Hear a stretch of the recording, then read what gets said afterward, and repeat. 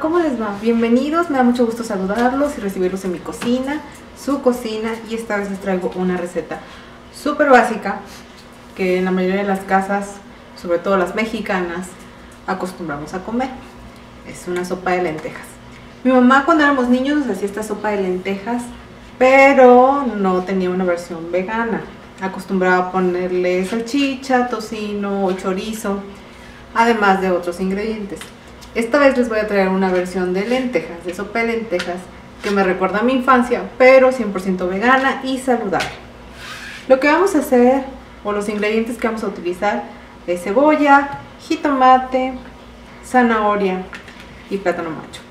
El plátano macho, dependiendo del gusto de cada persona, a mí me gusta más, entre más maduro mejor, pero pueden usarlo un plátano macho verde.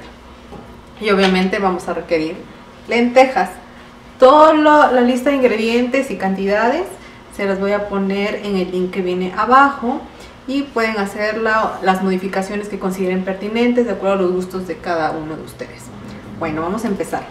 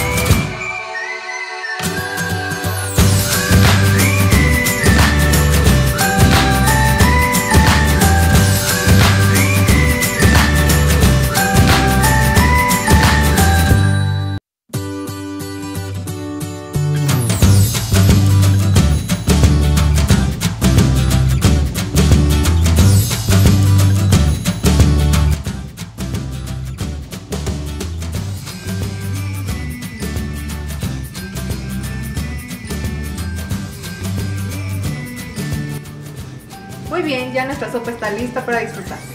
Vamos a probar a ver qué tal quedó. Mmm.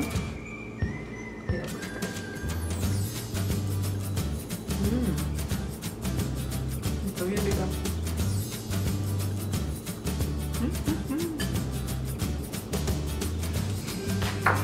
El plátano macho suelta miel, de tal manera que queda el caldito salado y dulce al mismo tiempo. Espero que les guste mucho esta receta y los invito a seguir viendo más videos conmigo. Bueno, buen día.